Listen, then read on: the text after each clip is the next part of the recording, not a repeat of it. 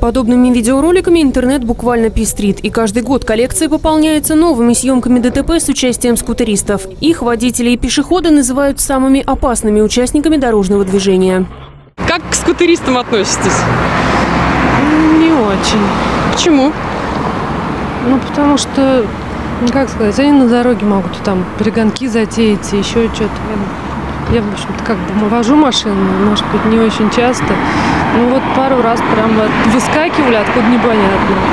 Для молодежи скутер – это своего рода фетиш. Что-то вроде варенок или косухи времен 80-х, 90-х. Он добавляет крутизны и повышает рейтинг среди сверстников.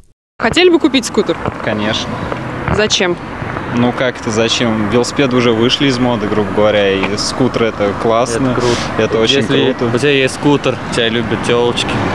Тем не менее, по закону скутер – транспортное средство. Таковыми двухколесные агрегаты признали в прошлом году. Их отнесли в отдельную категорию и обязали их владельцев иметь при себе соответствующие документы.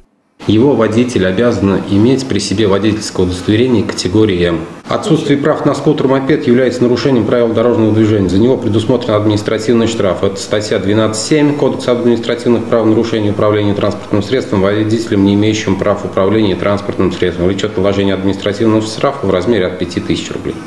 Езда без прав – не единственное нарушение, за которое наказывают скутеристов. Превышение скорости, управление транспортным средством в состоянии опьянения, езда без шлема или другой защитной экипировки, перевозка пассажиров. Все это грубые нарушения правил дорожного движения, за которые придется ответить водителю или его родителям, если скутерист несовершеннолетний. К таким сотрудники госавтоинспекции особенно внимательны. Согласно принятым в прошлом году правилам, управлять скутером могут только лица, достигшие 16-летнего возраста. За все действия более молодых водителей мопеда отвечать придется родителям, поэтому многие взрослые всерьез начали задумываться, стоит ли радовать своих чад подобным подарком. Хотя, конечно, это далеко не главная причина.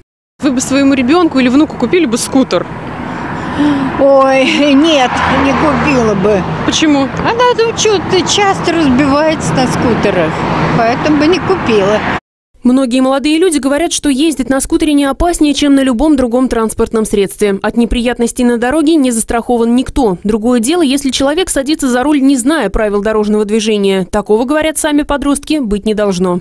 Сейчас же ввели, по-моему, права на скутеры. То есть, естественно, это происходит обучение. То есть, ну, не как раньше, когда мог любой действительно сесть и вмазаться в первое же дерево.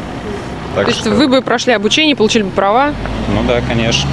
По данным Зареченского отделения ГИБДД, ни одна автошкола в городе обучение на право управления мопедом не проводит. С момента выхода закона о необходимости получения прав на скутер в Заречном не было выдано ни одного водительского удостоверения категории М. Светлана Демина, Денис Дубицкий, телерадиокомпания «Заречный».